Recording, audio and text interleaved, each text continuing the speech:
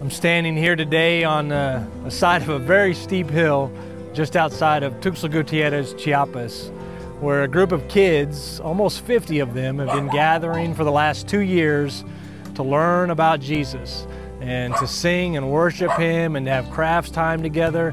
It's just been an amazing point of ministry that happens each and every week. In addition to that, we've got a group of adults that are gathering here in the evenings to have their Bible study.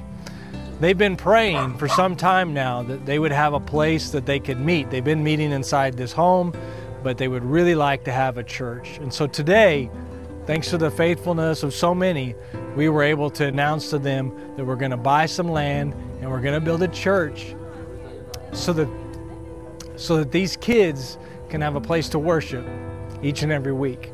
So, thank you for your support.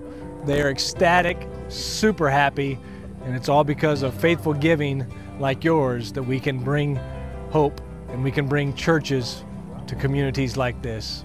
God bless.